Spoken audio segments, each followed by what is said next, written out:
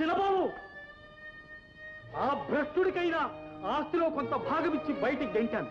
నువ్వు నా మాట కాదని ఎదిరించావో నీకు చిల్లి గవ్వ కూడా దక్కనివ్వరు ఒక్క క్షణం కూడా ఇంట్లో ఉండటానికి వీలు లేదు. మంచి తాతయ్య ఎప్పుడు ఒక రాష్ట్రపాస్తుల మీద ఆధారపడేదానికంటే స్వశక్తితో వ్యక్తిత్వంతో జీవించాలన్న గుణపాఠం నేర్పారు ఏమన్నా? నా మాట కాదని బయటికి వెళ్తావా? ఆ తర్వాత ఏం జరుగుతుందో తెలుసా? నువ్వు డబ్బులో పుట్టి పెరిగిన వాడివి. చేతిలో పైసా లేకపోతే ఒక్క క్షణమైనా బ్రతకలేవు. మనమల మాడిపోతావు నువ్వు చేసిన తప్పు తెలుసుకుని నన్నే వెతుక్కుంటూ వస్తావు. ఆనాడు నా పాదాలే నీకు తాతయ్య చెయ్యని తప్పుకు క్షమాపణ చెప్పుకునే దానికంటే మరణమే మంచిదని నా అభిప్రాయం. వస్తాను శశిగిరి చిన్నబాబు వెళ్ళిపోయాడయ్యా. శశిగిరి చిన్నబాబు వెళ్ళిపోయాడు. వెళ్ళిపోయాడయ్యా. ఎక్కడికి వెళతాడు? ఎంత దూరం అని వెళతాడు? అమ్మా నాకు ఉద్యోగం దొరికింది. పెద్ద కంపెనీలో నూట యాభై రూపాయలు జీతం. ఇదిగో అడ్వాన్స్ కూడా ఇచ్చారు ఇక మనకే ఇబ్బంది ఉండదమ్మా. విజయ అక్క ఉన్నంత వరకు ఈ కుటుంబం కోసమే కష్టపడింది. ఆ బరువు బాధ్యతలు నువ్వు పుచ్చుకున్నావా తల్లి? అమ్మా పెళ్ళి చేసుకుని సుఖపడాల్సిన వయసులో ఉద్యోగం చేస్తావా? తప్పే ఉందమ్మా.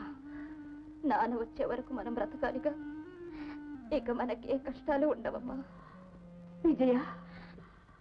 అక్క జ్ఞాపకం వచ్చిందమ్మా. సరే నేను హాస్పిటల్కి వెళ్ళి నీకు మందు తీసుకొస్తాను త్వరగా అమ్మా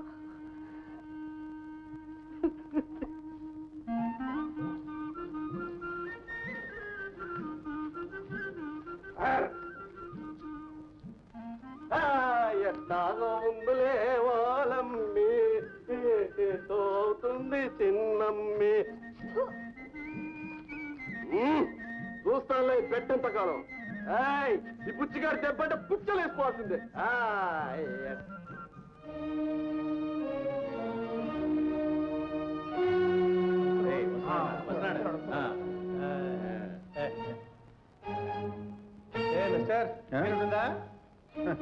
నిన్నే అగిపెట్టుందా నీకేమైనా మతిపోయిందా?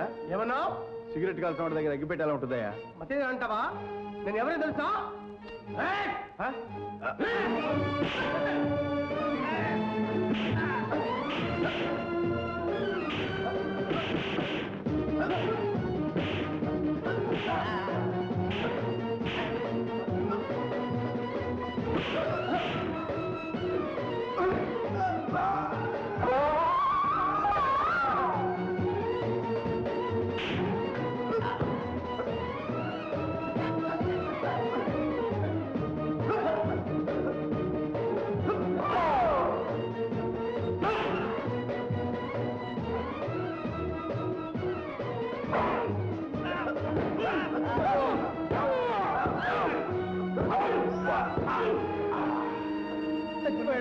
చచ్చిపోయాడు శాస్త్రి గారు కోరిక తీరింది. మనకి ఇక పండగనే.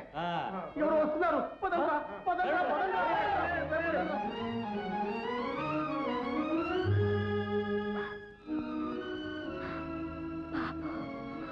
బాబు.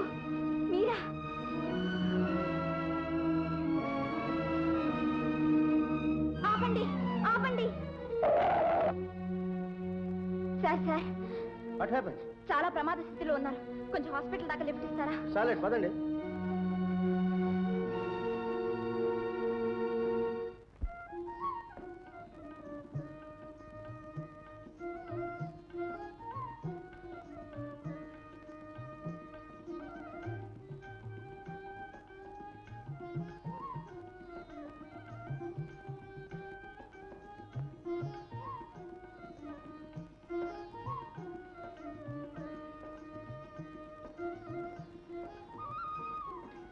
హారతి తీసుకోండి.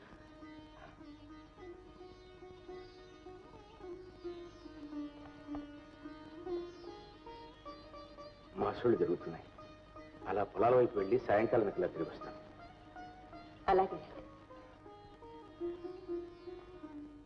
అసలే ఆపదల్లో అవమానంలో మునిగొంది కరాయి మగవాడిని ఇంటికి తీసుకొస్తావా ఎవరంటే లోపల ఏం సమాధానం చెప్తాను ఈ కాకులకి ఎలా సమాధానం చెప్తాలో నాకు తెలుసమ్మా. విజయ!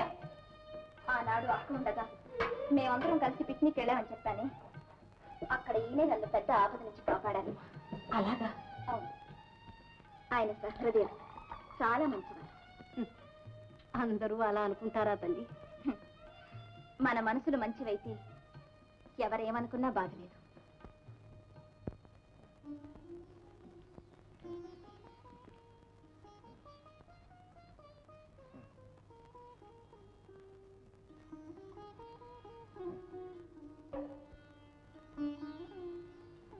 ఏమండి జావ తీసుకోండి.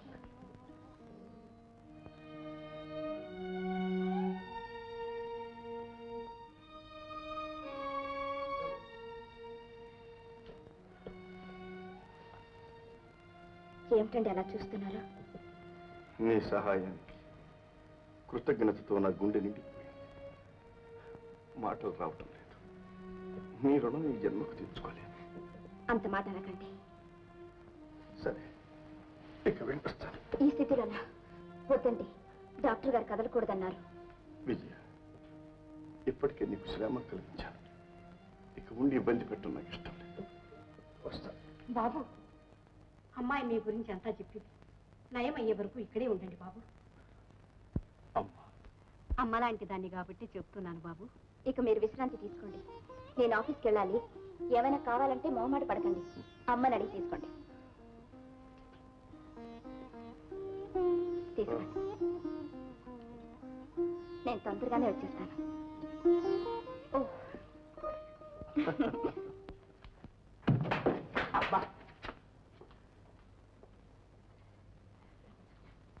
ఎవరు? విజయా? ఏ? కళ్ళ జబ్బు ఏమైనా వచ్చిందా ఏమిటి? జబ్బా? దాని దుంపదేగా? మన శరీరం. ఇనమ్మక్క కదూ మనకు జబ్బేంటి? అవునవును. డబ్బు కోసం గడ్డి తినేవాళ్ళకి జబ్బు రానే రాదు. ఒకవేళ వచ్చిందా ఒకేసారి అవుట్ అక్కయ్య! నువ్వా? ఏమిటి విజయ్ ఏదో పాపం ఉద్యోగం చేస్తుందట? ఏదో నీ దయ వల్ల.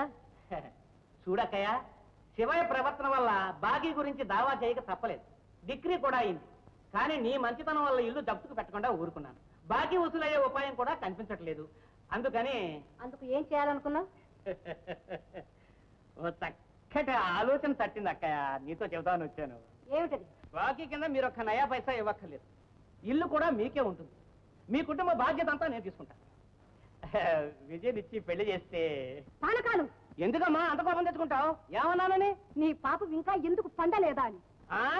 నువ్వు నమ్మిన వాళ్ళను నాశనం కోరే పాపివి అన్యం పుణ్యం తెలియని నా కన్నబిడ్డను నీ పొట్టన పెట్టుకున్నావు. అన్యాయంగా ఆయన జైలుకు పంపించావు. ఇంకా నీ దారం తీరలేదా? ఇప్పుడు నీ కన్ను విజయ్ మీద పడిందా? పానకాలు ఇప్పుడు చెప్తున్నాను. మేము దరిద్రంతో మలమల మాడి చచ్చినా నేను ఒప్పుకుంటాను కానీ నీలాంటి దుర్మార్గుడికి నా బిడ్డనిచ్చి దాని బ్రతుకు బలి చేయలేను. వెళ్ళు మళ్ళీ ఈ పెళ్ళి ప్రస్తావన తెచ్చావా? నీ తీరు చేసి తీస్తాను.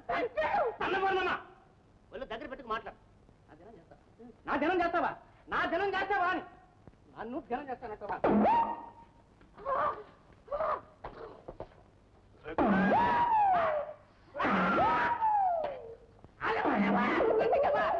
బాబు వదిలిపెట్టండి. ఎవరి పాపం వాళ్ళు అనుభవిస్తారు. అమ్మా! అమ్మా! అమ్మా! అమ్మా! అన్నపూర్ణమ్మ! ఇదా! ఇదా నీ ధైర్యం. మంచి కోసం వచ్చినోడి ఉపకారం చేద్దామని వచ్చినోడి పీకలు ఒక్కిస్తావా పీకలు ఒక్కిస్తావా నొక్కిద్ది నొక్కిద్దావు కానీ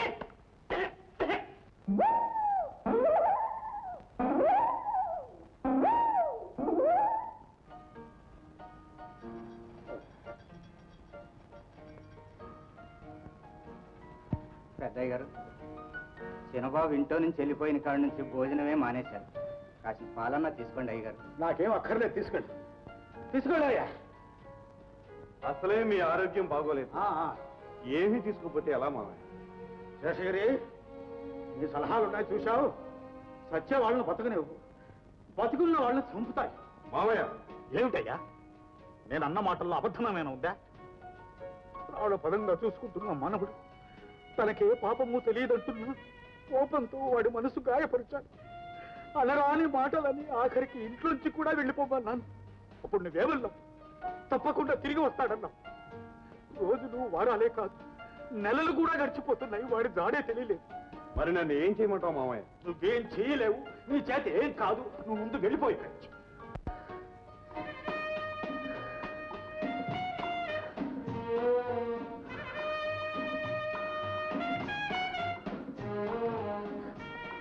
బాబీ నువ్వు లేకుండా నేను బతకలేను. నిన్ను విడిచి నేను ఉండలేను బాబీ. నేను మాత్రం ఉండగలను చెప్పు చీకటి వెలుగుల్లా కలిసి విస్కీలో ఐస్లా కరిగిపోతూ నేను పెద్ద ప్రొడ్యూసర్ అయిపోతాను మంచి రంగుల చిత్రాన్ని తీసేస్తాను నిన్ను పెద్ద స్టార్ చేసేస్తాను ఆ తర్వాత? తర్వాత నిన్ను పెళ్ళి చేసుకుంటాను కాదు కాదు ముందు నిన్ను పెళ్ళి చేసుకుని తర్వాత పెద్ద స్టార్ చేసేస్తాను అలా చేయకపోబట్టే పెద్ద పెద్ద మహానుభావులు దెబ్బతిన్నారు. మరి మా నాన్న ఒప్పుకుంటాడా? నాన్ననే పెళ్ళి చేసుకునేది.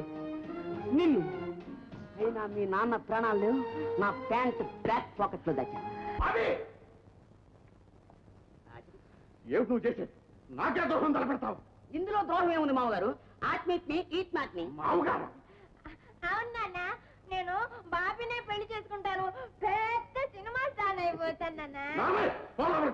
బాబీ డోంట్ డోంట్ మామగారిని ఎలా ఒప్పించాలో నాకు బాగా తెలుసు. Going side going side